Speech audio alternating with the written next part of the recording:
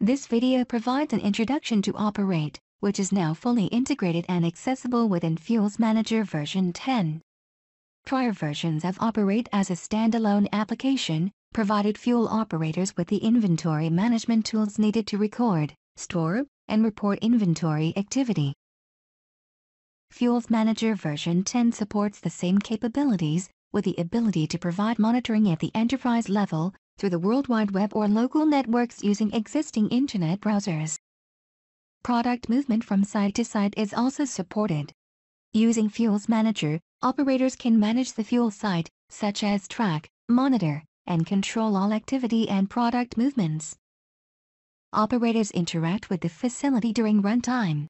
Operate provides dynamic interaction with the FuelsManager database, which includes monitoring and controlling equipment through the use of real-time graphics and reports.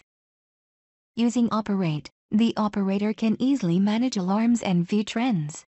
Other functions include monitoring database points and responding to data by issuing commands.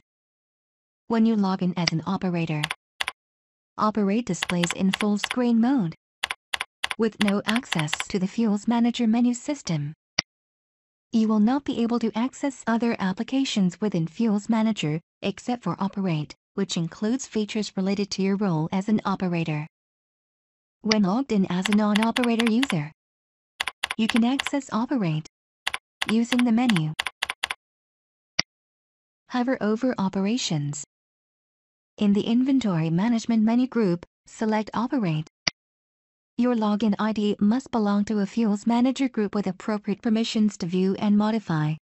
Some pages or fields may not be available for entry or edit depending on your user's security rights. Operate provides a way to quickly select data views using task groups.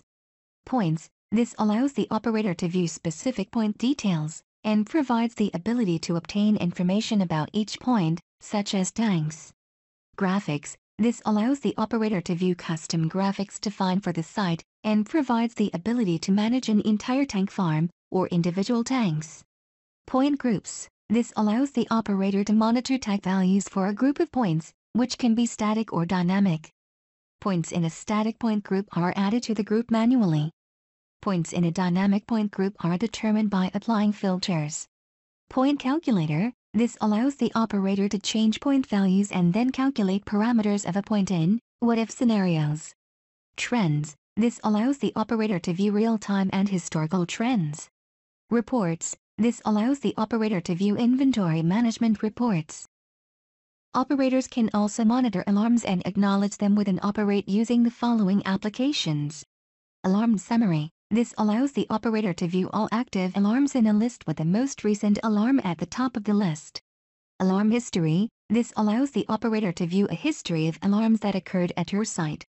Videos that discuss the Operate tasks and functions in detail are available. Thank you for watching.